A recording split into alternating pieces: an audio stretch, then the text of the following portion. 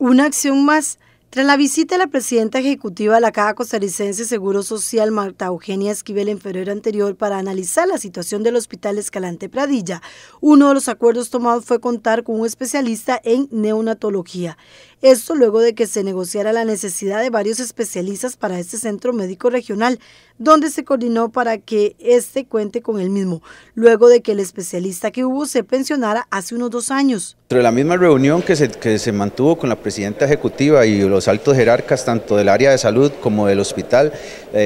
mi jefe, el doctor Luis Carlos Vega Martínez, este, también se negoció la necesidad de algunos especialistas. Actualmente sabemos que el, tema de especialistas a nivel país es una problemática no solo del, Hospital Escalante Pradilla, sino que es de, toda la, de todo el país debido a la fuga que se está viendo de los especialistas hacia la, hacia la parte privada. Pero sí se priorizó en esta reunión la, la, solicitud de necesidad de un neonatólogo, que el neonatólogo es eh, uno de los especialistas que se había pensionado acá y desde que se fue el doctor Tunerman, entonces no hemos podido tener y había estado este, abordado por los mismos pediatras de acá de del hospital pero ya tenemos la, por lo menos por oficio, la llegada de un neonatólogo, el cual va a ser de gran ayuda para toda la red de servicios Brunca, que sabemos que está compuesta por los cinco hospitales de la región del sur y eh, además el, Hospital Escalante Pradilla. ¿Qué funciones tiene un neonatólogo? El neonatólogo es el que se encarga de atender los niños que, que nacen de madres eh, de menos de 37 semanas.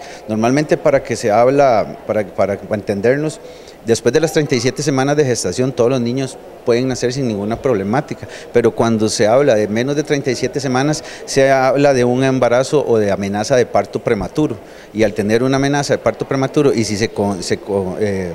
si llega al nacimiento, estos niños necesitan otro tipo de atenciones, que sería como una unidad de cuidados intensivos, solo que para niños. Y entonces lo maneja un neonatólogo y este, este recurso no lo teníamos desde que el doctor Tunerman hace como dos o tres años se pensionó. Se espera pronto la incorporación del especialista.